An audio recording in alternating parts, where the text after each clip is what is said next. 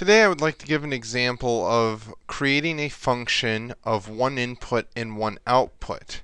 For this example we'll be doing the Taylor series expansion of the sine function, but it really doesn't matter what we are doing this function of. Let's take a look on Wikipedia and see what a Taylor series expansion for the sine wave is and we can see the pattern there. If we're trying to find sine of x, it's approximately equal to x minus x cubed divided by by 3 factorial plus x to the fifth divided by 5 factorial, so on and so on and so on.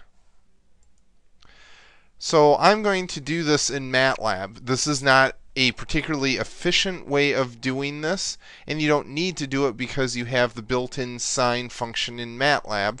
This is done for academic purposes only.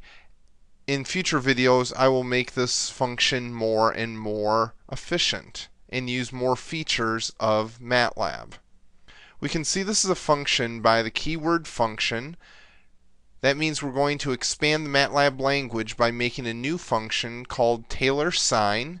It's going to take an input of x and an output of approx, and it's of course stored in a function named taylorsine.m.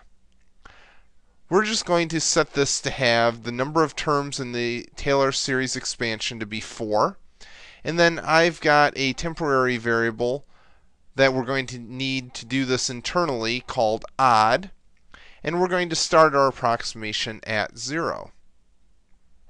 Now we're going to loop from the number of terms, that is 1 through the number of terms, and then we need that value n that's going to be used in the factorial and when we're raising the value to a power. And that was simply term times 2 minus 1. So the correction that we're going to add or subtract is going to be x raised to the n divided by factorial of n. Notice we are using a function inside of MATLAB called factorial within this function file that we are defining. You could also use other functions that you define in MATLAB here also, because all of these just add to the MATLAB language. Now we're going to do some flow control. If odd, then we're going to add the correction to approx.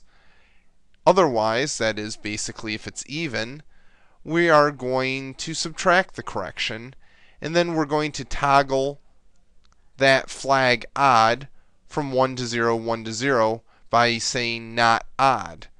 And then we end the for loop. Let's go to the command window. If we say sine of 0.5, there we go. And if we say the Taylor sine, and it looks good. So that is a simple example of a function of one input and one output in MATLAB. Thank you.